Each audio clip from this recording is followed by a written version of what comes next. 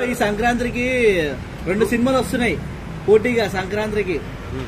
ఎట్లా అనిపిస్తుంది మరి? విన్నర్ రన్నర్ పక్కకు పెడితే ట్వెల్త్కి మన బాలయ్య వస్తున్నాడు. విన్నర్ విన్ అయిపోతాడు. అంత కాన్ఫిడెంట్గా ఎట్లా చెప్తున్నావు అన్న? చిరంజీవి విన్ కాడా? ఏంది? అదే అంటున్నా కదా చిరంజీవి రోజు చిరంజీవి గారు విన్ అవుతారు.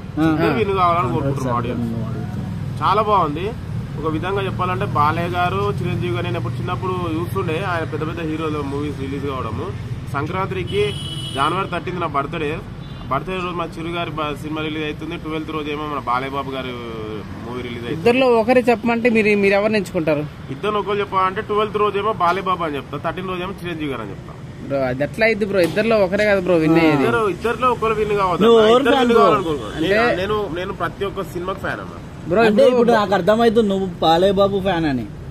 బాబు ఫ్యాన్ అంటలేనన్నా. చిరంజీవి గారి సినిమా ట్వెల్త్ రిలీజ్ అయినా చిరంజీవి గారే తోపు అని చెప్తా. చిరంజీవి గారి సినిమా అండర్ కవర్ కోప్ అంట ఇవన్నీ ఉన్నాయి కదా. సో ఇవన్నీ రొటీన్ సినిమాలే కదా. మరి ఏమన్నా అటు ఇటు అయ్యే ఛాన్సెస్ ఏమైనా ఉంటాయి? Black buster అయిద్దంటావా? సినిమా చూడండి అటు ఇటు అని ఇట్లా చెప్తారన్నా. సినిమా చూసిన తర్వాతనే ఆడియన్స్ ఎట్లా బయటకు వస్తుంది? మనకి విత్ ఇన్ సెకండ్స్లో వెళ్ళిపోతుంది హిట్ ఆఫ్ ఫ్లాప్ అని.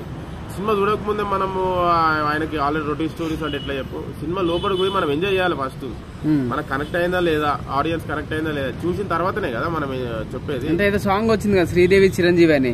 ఇంకా ఈ ఏజ్లో మంచి కొండలో సాంగ్ ఏంటని చెప్పి ట్రోల్ చేస్తున్నారు. సో మీరేమంటారు? ఈ ఏజ్లో కూడా ఆయన హీరోగా చేస్తేనే యాక్సెప్ట్ చేస్తారు. ఎవరైనా ఫాదర్గా చేస్తే ముసలిగా చేస్తే యాక్సెప్ట్ చేస్తారా? చిరంజీవి గారిని? ఉమ్. బాలయ్య బాబు గారిని ముసలి ముసలి క్యారెక్టర్ చేస్తే యాక్సెప్ట్ చేస్తారా? మన హీరోస్ని హీరో లెక్కనే చిరు బాలయ్య ఇంకో నైన్టీ ఇయర్స్ వచ్చినా కానీ హీరోగానే చేస్తుంటారు డేట్ సాంగులతో నైన్టీ కాదు హండ్రెడ్ ఇయర్స్ వచ్చినా అదే డ్యూయట్ కావాలి అదే మాస్ సాంగ్స్ కావాలి అదే అదే అలాంటి ఫిలిమ్సే కావాలి మాకు.